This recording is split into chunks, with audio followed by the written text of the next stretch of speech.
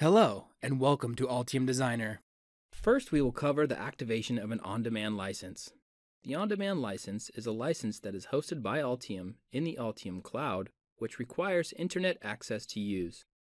Using the sign in link, providing your Altium Live credentials, and enabling the checkbox verifying that you have read and understand the warning will allow you to select Sign In, connecting your installation to the Altium cloud and load all of the licenses available for your organization.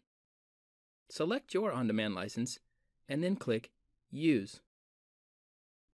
Select the on demand license and select Release. Now let's activate the standalone license. Select a standalone license in the standalone section and select Reactivate. Select Yes in the Activate Standalone License dialog acknowledging the network message.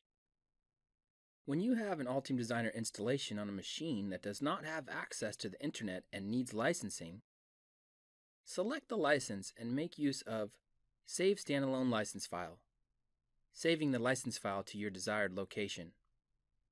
Move the license file to the likes of a USB flash drive so you can transfer it to the Altium Designer installation on the machine that does not have internet access.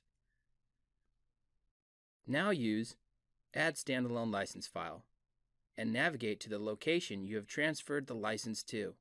Select it, and then select Open. There may be instances where you do not have any machines running Altium Designer that have a connection to the internet for you to download the license. In that case, the license file will need to be downloaded by your Altium administrator from Altium Live via a web browser. On a machine that has internet access, open a web browser and go to altium.com. Click Sign in in the upper right corner and sign in with your Altium Live credentials.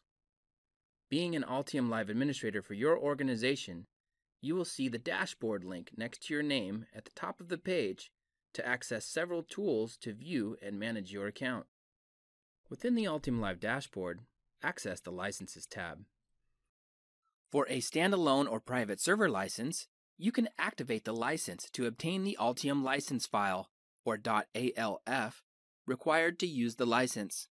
Find your standalone license and click on the name heading with the gold font color. Then click the Activate link on the next page. At the bottom of the page, you can select a version of Altium you wish to activate the license for. Select Altium Designer 2018 and then click the OK button. Save the license file to your desired location. Thank you for choosing Altium Designer.